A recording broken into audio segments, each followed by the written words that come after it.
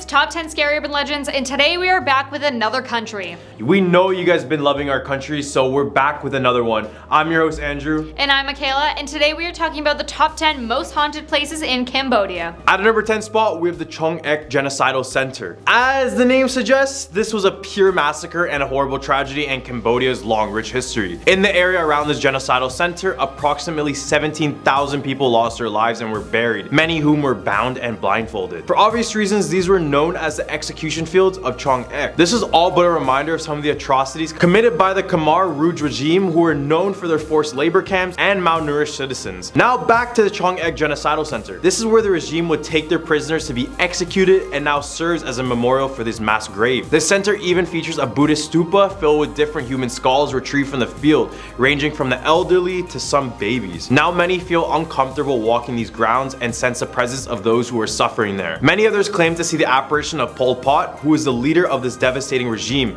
But regardless, knowledge is power and hopefully this educates us to never go down this route again. Number 9. Haunted House on National Road. According to some, this is the most haunted place in Cambodia. There are many stories that describe it as a very mysterious island where a lot of people have either passed away or disappeared without a trace. Now on National Road number 5, from Kampong Chhnang province to Pursat province in Cambodia, just 5 minutes driving from Stung Bribo Bridge, on the right hand side, there's a house that most people stop by to pay their respect to a famous ghost house. There's a very large monument built because a family that didn't particularly want to live created a curse. The curse took residents in a pit they threw themselves in to take their lives. Eventually people who drove near it started to pass away. It was also said that the residents who lived nearby started to pass away around World War II. At the time it was a wooden house but now it's concrete. At number 8 spot we have Bokor Hill Station. Bokor Hill Station once served as a French settlement town and a hideout for the Khmer Rouge regime. Remember that terrible communist party I mentioned earlier? Earlier, through its time many lives were claimed due to the hard labor needed to build all this infrastructure. This town even saw a war with the invasion of Vietnam. This regime used this place as one of their last strongholds so many lives were lost defending it. Now it lies completely abandoned with only the rundown buildings to show for it. Fortunately the place opened up for tourism but many people report feeling sadness walking along these blood-stained grounds. Many people visit the old hotel in the town and they claim to see the apparitions in the corner of the rooms, standing there just watching them. Didn't think it was scary yet? Imagine this place at night Boom, terrifying. Now at number 7, Tuol Sleng Genocide Museum. In the 1970s, this former high school was converted into the notorious S-21 prison by the Khmer regime where an estimated 20,000 prisoners were executed. Souls of the victims who were detained, starved, tortured, and executed are said to be roaming the S-21 hall. Many unusual incidences have been reported there, including the guards who hear moaning and chains rattling at night. Today the school or prison has been transformed into a museum where the ghosts of the deceased are still said to haunt the halls. Of the 20,000 prisoners that experienced the horror of S-21, only approximately 6 to 12 are rumored to have survived the genocide. The museum employees even leave food out for the ghosts during their lunch breaks. They say that if they don't leave an offering, they can't enjoy their own lunches in peace due to loud noises and other ghostly activities. At number 6 spot, we have the Independence Hotel. This hotel in Sihanoukville, Cambodia is thought to be haunted by one of its former residents. The wealthy and the famous quickly filled the rooms of this hotel after its 1964 construction. After a few years of prosperity,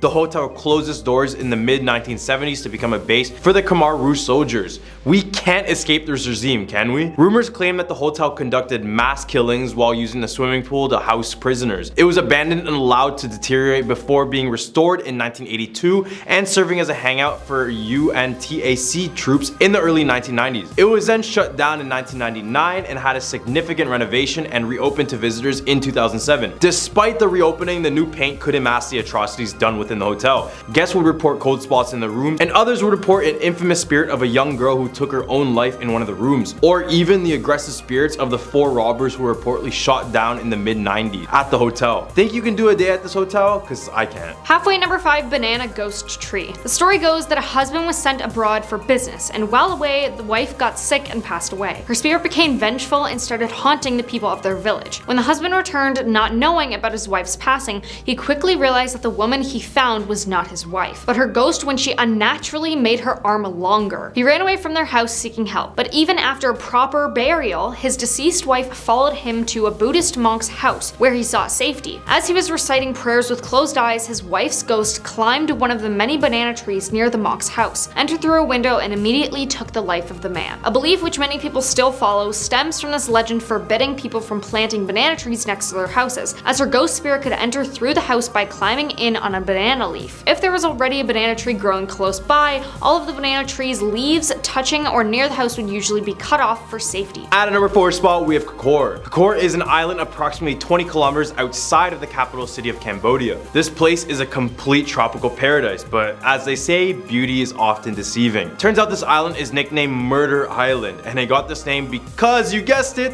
the Khmer Rouge regime was here, and they established a prison where they would use it as an execution site. This prison was estimated to have claimed the lives of thousands of people due to physical abuse and malnourishment. This is why many residents of the island claim to see the ghosts of the former prisoners wearing their black shirts and crying out for help in the middle of the night. They even left a brutal display of the remains of those who lost their life on this island. Don't know about you, but I'm still hung up on the fact that it's called Murder Island. Shouldn't this be a no-brainer for all of you guys as well? Now number 3, Champa During the broadcasting of a horrific night, a local radio programmee served as a channel for Cambodian people who would call in and share their paranormal experiences. Noah Vaseth, a government official residing in Stung Treng and a dedicated listener who tuned in on the show every Saturday and Sunday, said his life was almost taken by the ghosts while traveling along the road in front of Champa Pagoda in the Vay district. His story was this. It was 10 p.m. and I was on my way home from work. Suddenly, a bike ran into me.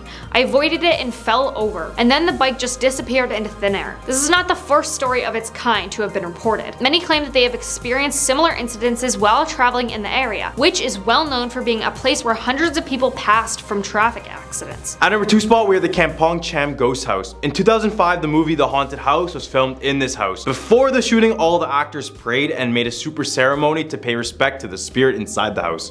According to rumors, a young couple moved to this newly built house. They dreamed that someone offered to buy a house for $3,000 in net gold. They immediately agreed and the next morning, they woke up and they saw the gold was placed at the door of the house. But they did not move despite taking the gold. One day after waking up, they found themselves lying on the wilderness with their belongings. Since then, no one has dared to step into the house and it supposedly doesn't have a speck of dust inside of it to this day. Now coming in number one, Old Changi Hospital. The now abandoned hospital was built in 1935 by the British colonial government as part of a military base camp in the area. It included two military buildings, blocks 24 and 37, that were part of the Kitchener Barracks, which housed the Royal Engineers of the British Army. However, the hospital's peak was short-lived with the grounds being seized by Japanese troops in 1942 and used as a holding ground for prisoners of war. During the occupation, the hospital was said to have been used as a torture facility by the Japanese secret police, based on the fact that there were rooms with thick chains hanging from the walls and blood-stained floors. Before and after its closure in 1997, visitors and hospital guards claimed to have seen phantoms resembling nurses and soldiers roaming its corridors, as well as hearing unexplainable hellish shrieks. A movie was even filmed on the site and the crew reported strange occurrences with unexplainable sounds, disembodied voices, and sightings of ghostly figures. Well, these are the top 10 most haunted places in Cambodia. Thank you guys so much for watching and we will see you next time. Peace out.